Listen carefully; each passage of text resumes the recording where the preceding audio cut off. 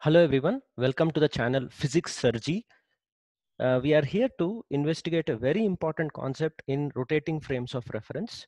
We'll try in this video to differentiate between uh, relative velocity of a body with respect to a point and relative velocity of a body with respect to an observer. What is the prime difference between taking a frame attached to a point and taking a frame attached to an observer. That's the main agenda.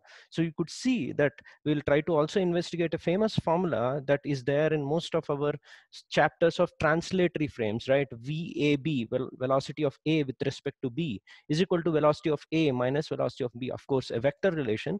Is that always applicable? Is it correct or incorrect? That is what the agenda is going to be. Okay, right. So let's try to move on to the formal wording of the question yeah this is the question i made for you and let me go through the question very quickly for you. So you can see that there is a rod uh, which is rotating about its end right? Left end this one right? With an angular velocity omega.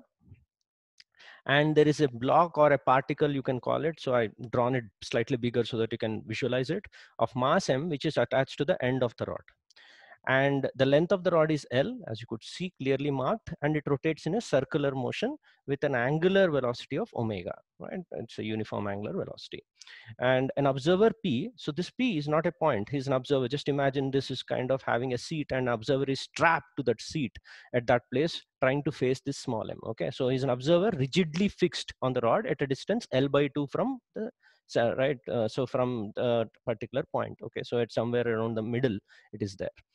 So in the frame of reference p he he's asking like uh, choose uh, asking us to choose the correct option among the four okay? So Uh, more than one may be correct answer so we are supposed to judge each option on its own merit. So let me read out the options for you. Velocity of m so remember all the four options we are trying to manipulate in the frame of observer p who is rigidly fixed okay? So velocity of m he observes is zero first option. Acceleration of m he observes is l by 2 which is this distance omega square. Pseudo force that he observes on m is m into l by 2 omega square. And again the option d pseudo force on m is m into l into omega square okay right? So you want to give it a try right? I'll just you just need to pause the video here and then after giving a fair try just move on to the next part where i'll explain the solution okay right? So here we go. Uh, before we try doing this let's try to take a simple concept which i have pre-drawn here okay I've just borrowed the diagram into this page. The concept that I'm talking about, especially velocity of A, can you see here? Velocity of A with respect to a reference frame B. Remember, if B is a rotating frame or the observer uh, whose head is rotating. Imagine if a person P here sits and is moving, not only he's moving or translating, his head actually rotates with an angular velocity omega as he's watching this M. So under that circumstance, the velocity of A with respect to B, B is an observer here, is not merely VA minus VB, but there will be an extra term that will come into picture. Remember this extra term would be absent if the observer B was purely translating. Okay, so that's why the first bracket would be the formula, which is special case of B being a translatory frame. Okay, now this looks like a very tough formula. So I'll just given you the formula, but in this solution, we'll try our best to visualize this formula. I'm not going to directly use this formula. Okay, right. Uh, so in order to emphasize that, I've created a simple situation here in white. Can you see this, right? This entire thing I've created a completely new problem so that we can discuss and borrow whatever we visualize into this problem. Okay, so I hope you are with me now. So I'm assuming a block, right? You can see a block of mass m having a general velocity with respect to a rest frame, a ground frame. So this white arrow represents its velocity vector as seen by a ground observer or a rest frame. Okay, right? Absolute velocity. Now let's suppose in each of the three cases, three different observers watch this block, block okay right? So we are supposed to now analyze what kind of uh, velocity for this particular block each of these three observers are going to see okay now the first observer is uh, this is a diagram for i okay so i've just tried and so this observer as you could see i've drawn an eye here he's moving or just translating just imagine he's just moving from one place to another place without turning his head right? His he head is still, it's just translating in space. This red arrow represents its velocity. Now, in this case, the VA minus VB formula on the top, can you see? that would be applicable. There won't be any second term. This kind of observer is called a translating frame of reference. Okay, right now this observer, apart from seeing this velocity, he will have to subtract this velocity from here. So what he's going to see, I'll just draw it for you. Apart from that white arrow, he will be able to see a red arrow which is in reverse okay so what essentially i'm drawing is i'm negating the velocity of the observer and adding it to the absolute. So can i say this white vector represents va and this red in invert represents the minus VB. So this is the, uh, so uh, if you ask this guy what is the resultant velocity that he's going to see, it would be the vector sum of VA and minus VB, VA and minus VB. Okay, so now we're done with the first case. In the second case, you could see a person sits at a place. Okay, so he's not moving but his head is turning okay right? It's just uh, seen by an angular velocity let's say omega.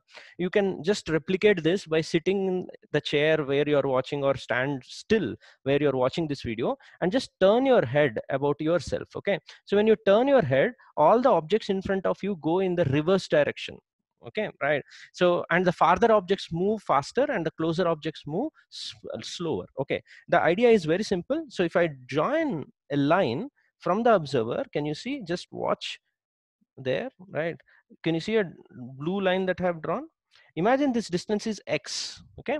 Right and if this rotational velocity is omega let me mark that rotational velocity as omega then any object which is being watched by this fellow would be felt as if it's going in the reverse direction. So you can see if this person is turning like this then the object seems to be moved like this. In your case when you're watching this particular thing on a mobile or a computer screen, just turn your head towards your left, then the mobile screen seems to move towards right and vice versa. Okay, so this blue arrow, I can write it as x times of omega. So you can see this is x omega. That should be in reverse direction. So if someone asks you what would be the resultant velocity as seen by this observer, he would say, apart from the absolute velocity, I have to negate a value called as x omega okay right? And now i'll take a case 3 in which superposition of 1 and 2 happens. So this observer is having both translational velocity and also his head is rotating like this right? In that scenario he would get both the result of a red arrow you could see the red arrow is subtracted and also a blue arrow in reverse has been subtracted these two individual arrows represent the terms in this above formula okay? So this negative red arrow is the reason for writing minus vb and this negative blue arrow is the reason for this entire term which is omega cross rba okay omega cross rba you could see i've reversed this ba because it would be moving in the reverse direction. So i'll borrow this aspect instead of using this formula i'll borrow this case 3 aspect and say this rotating observer who is watching this mass m should be able to uh, be considered like a case 3 okay? So i'll try my best to draw an observer there. I can't use a white picture so i'll draw a red colored observer now. So imagine there is a human eye there watching that small m and you realize that this eye is not only having a translational velocity you know that in circular motion this would have a translational velocity of L by 2 into omega, right? Because it's at a distance of L by 2 from this. So this one's circular motion would be of radius L by 2. Therefore, this one's translational velocity would be simply L by 2 into omega. Not just that, his eyes would be rotating like this, just like in the case 3 with an angular velocity omega. Okay, what is the absolute velocity of uh, mass m? Absolute velocity of mass m in this direction, in this direction would be L omega. So let me manipulate that here, the diagram, I'll, I'll draw it here, okay? So let's say this is your block M that I'm talking about, right? And it has its absolute velocity in this direction, which is L omega, because it's at a distance of that circular motion. And then because of this observer that I drew there, who is at a distance of L by 2 from here, he has a translational velocity of L by 2 omega and that has to be reversed, right? So this translational velocity has to be reversed and added here. So that would be reversed and added, which is L by 2 omega. And there is a rotational velocity also, right? Which I'll try to draw it in a different color okay so let's let maybe i'll draw it as blue color and due to this blue color rotation you would have a negative vector which should be in this direction equal to the distance between the two which is again unfortunately l by 2 so i have to write an l by 2 here i wrote x omega. Can you see in the case 2 so this would be l by 2 into omega right? So this would be l by 2 into omega. So if if you ask this guy he would say that i i see the result of all this which in this particular problem you could see is vector sum of s zero okay? So velocity of uh, that block m with respect to that observer p would be equal to zero.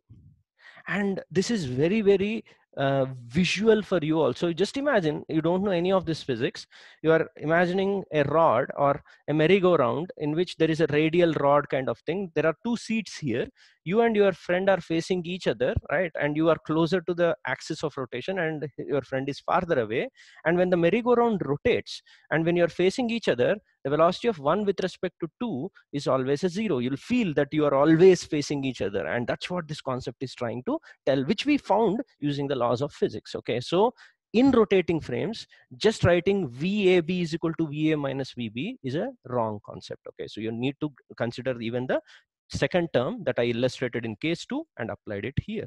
Okay so we'll go back to the question and ask ourselves i think this either by visual analysis or by physics you should all appreciate that the velocity of mass m with respect to an observer not a point. If i had said a point point won't rotate right? So once the word observer in the question is used you have to use this concept. So as seen by an observer at p the body m would be having no velocity. So option a is a correct answer. Now um, for acceleration i can I can do it in two ways. Okay, so the acceleration part, rigorous physics wise, you could you have velocity in relative frame. Okay, right? Maybe you'll differentiate this with respect to time, and you'll get a lot of terms, and you'll name each one of those, and you start getting the accelerations. That's one way. You'll find them in the standard books. Let's do it in again visual manner. Okay, uh, what did I say? I said when you do this merry-go-round experiment, as seen by you your friend will always be at rest. This rest is complete rest. So once it is completely rest the net acceleration seen by you of him also should be zero. Okay? So the acceleration as seen by you of him should be zero. So acceleration of m as seen by observer p. This is a wrong option. This is not a correct answer here right? So l by 2 omega. So this should have been a zero. Okay? So the b is a wrong answer and a is the correct one okay right. Let's go to c. Now in c the pseudo force on m you are supposed to calculate okay? Uh, let's try to understand uh, what does pseudo force mean? The pseudo force is the fictitious force that the observer in rotating frame has to put on the block in order to explain uh, the motion of that block okay? What is the actual motion of the block? Actual motion of block or particle m right we saw it's in circular motion, right? So it will be in a circular motion like this with this as the center. Okay, so this is the center, right? What is the radius of that circular motion? Radius of that circular motion is we know L, right? Right. So this is the actual motion. So in order that this actual motion takes place, we all know in uniform circular motion, there should be a centripetal force or a force uh, which is towards the center right? So that towards the center force i should be able to mark right? So remember this is a real force okay? And in this case the rod provides that force. Rod is in contact with the block m right? So this real force is m into l into omega square okay? Now as seen by an observer right? As seen by an observer let me draw that observer at the middle. You can see the red colored eye here. So that observer he should complain that this block seems to be at rest. Okay right? So apart from this real force he should visualize some other force in order to ensure that this block stays at rest. Because he sees it at rest he is desperate to explain that this is at rest which he cannot if he takes this as the only force acting. So he will say so i'll just okay so this fellow he says block m is at rest So he has to believe it is at rest. So he would say there is a false force, right? It doesn't really exist. In his frame, he has to make it exist, right? So he'll believe it exists and he says there is a force in this reverse direction. And how much is, should be that force according to this uh, thing, right? Whatever is the real force, it should be cancelled off in his frame of reference. So this he says is the pseudo force. And okay so the value of the pseudo force is not m into l by 2 into omega square. So please don't. It's a misconception that if you have a distance l by 2 here then the pseudo force should be in this direction equal to m l by 2 omega square. No. Pseudo force should be that force which ensures in this problem that the net force on this comes out to be zero as seen by this guy. Then only he will come he he will be able to explain that the block is at rest right? If you had written l by 2 here then there won't be any cancellation right? So that's the reason why you go back to the options and you could see the examiner has given the options in a very shrewd manner answer c is wrong okay and d would be the correct answer okay right? So that's the beauty of this question where your distance between these two won't matter okay even if now you get an idea right? Even if this observer is not here elsewhere i think real force won't change. And therefore the pseudo force as seen by any observer placed anywhere here would be still ml omega square right? It is not equal to m into distance between the block and the observer omega square. That's wrong okay?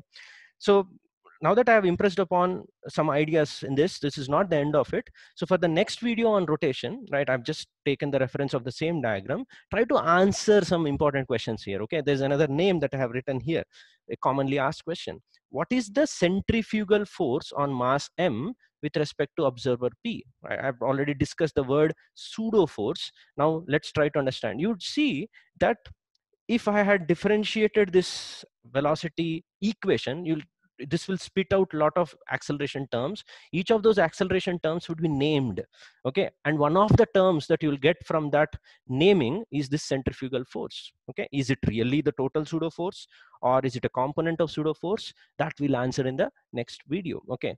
So that's that's something that we want to uh, answer here right? So what is the centrifugal force on small m? As seen by observer at p not the point observer at p Second important term that would be a part of that uh, acceleration dif uh, after differentiation is Coriolis force. What is the Coriolis force on M with respect to observer P?